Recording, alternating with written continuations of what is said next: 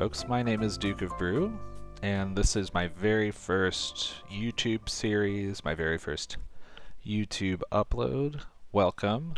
Uh, my series is called Mini Amsterdam, uh, and in it we're playing a heavily modded version of Cities: Skylines, and we'll be creating uh, several parts of uh, the city of Amsterdam.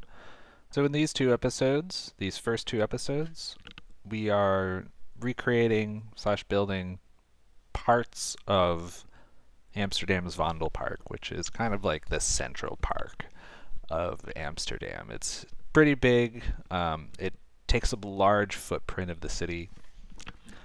And I'll go I'll go into explanation as to why I decided to choose to start with a park. It's quite unusual, I think, for a S Cities: Skylines YouTube series. But I really just wanted to start with something nature-based. I just saw Vondelpark jump out of the screen at me and I was like, this is gorgeous. I want to recreate this as soon as possible. It's a little weird because within these two episodes you really won't see people in the park. I actually have no outside connections set up yet.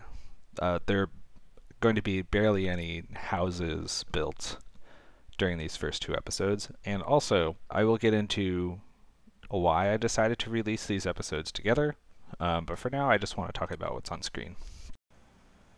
In this part of the episode, we're building a bridge that spans a part of the Vondelpark. If you go onto Google Maps, and yes, I should provide this content to you directly in the future, I think I'll do that. If you go onto Google Maps, you'll see that this bridge spans, just crosses right over Vondel Park.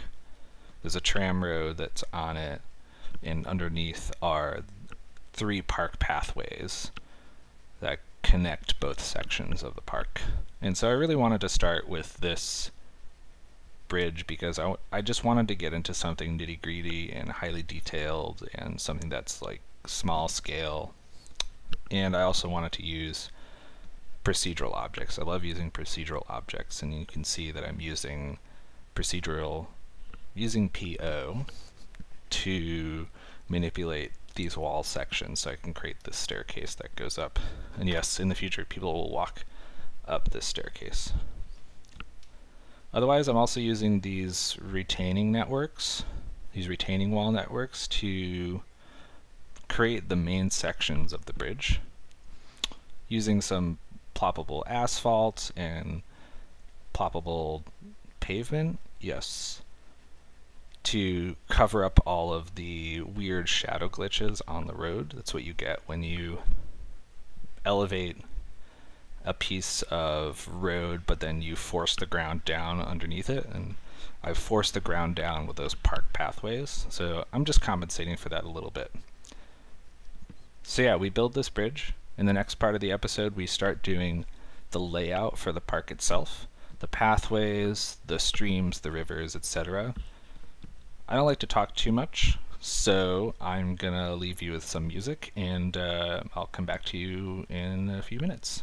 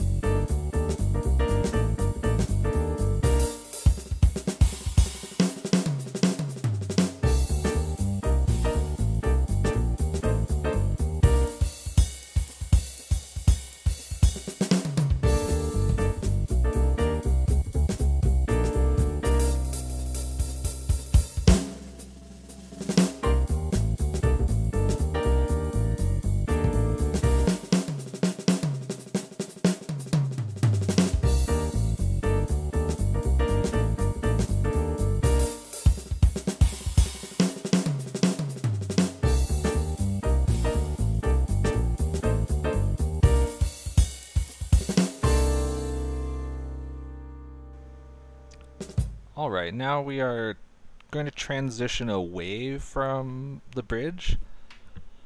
We're certainly not finished with it. There's a little bit more detailing to do. Um, we're definitely going to revisit in, in the future. And so it's definitely not done.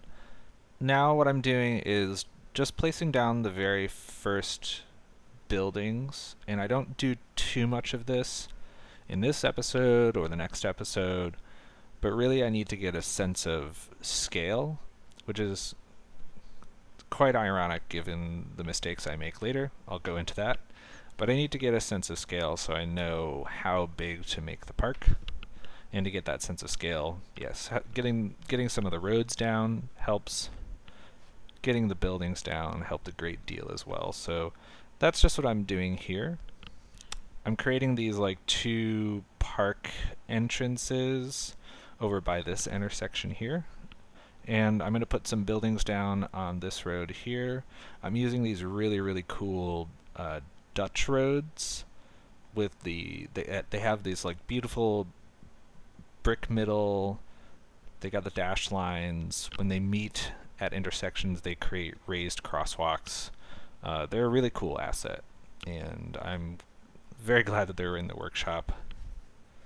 I do wish for a one-way version because there are a lot of like smaller one-way streets in Amsterdam and it'd be lovely to recreate that.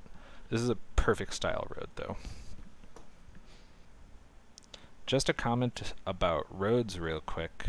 I do intend on modifying a lot of assets that I find in the workshop like I, I'm I intend to go into the asset editor and like turn a parking lane into a bike lane just because Amsterdam roads are incredibly specific and I want to do a little bit of that.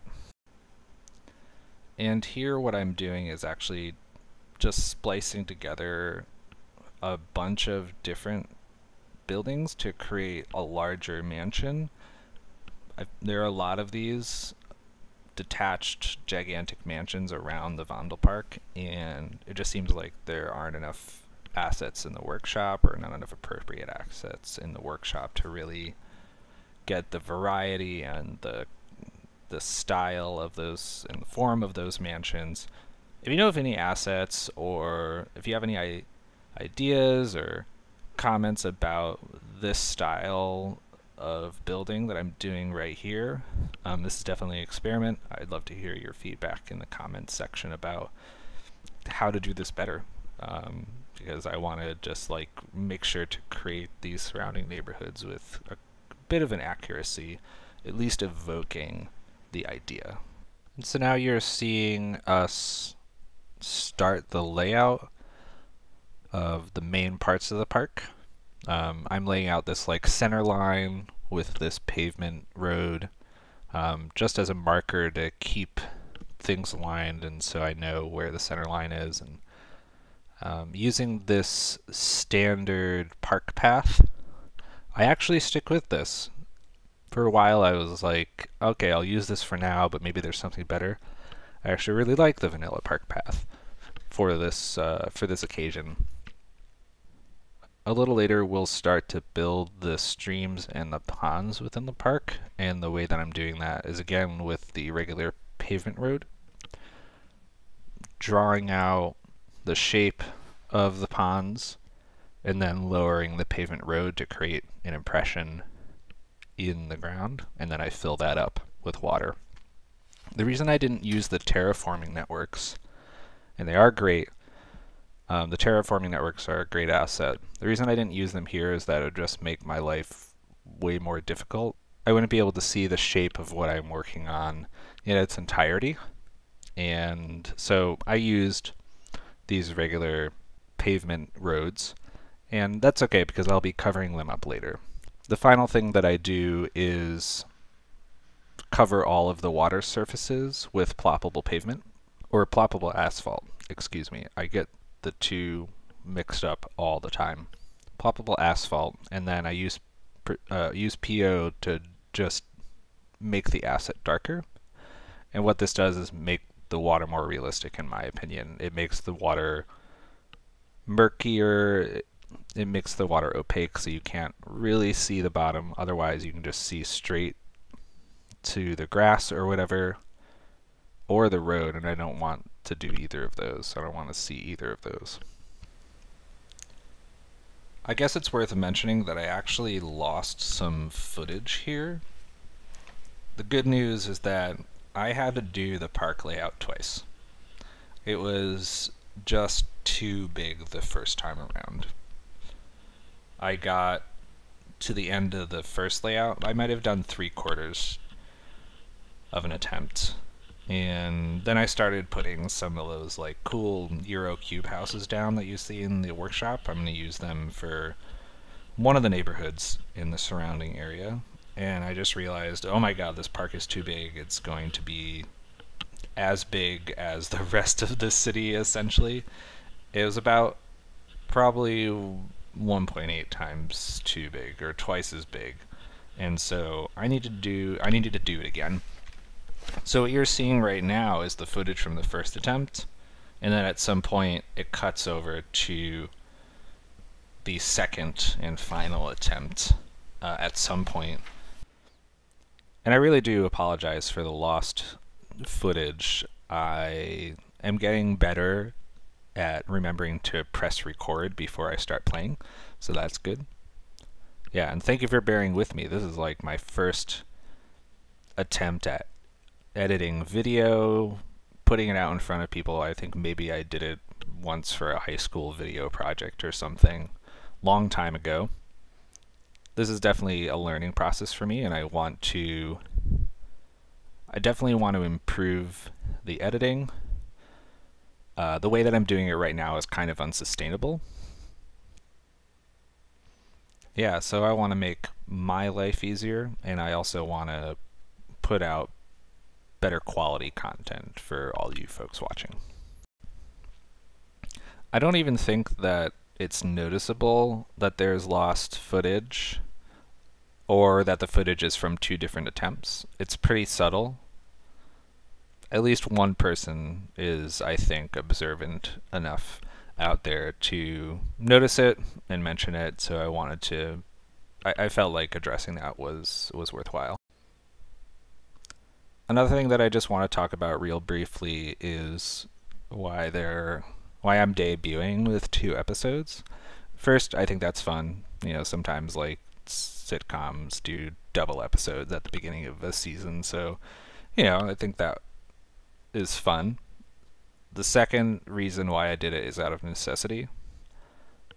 This is my first time like doing a video series. I planned poorly I played the game to the point where I had like two or three episodes worth of content and no cinematics.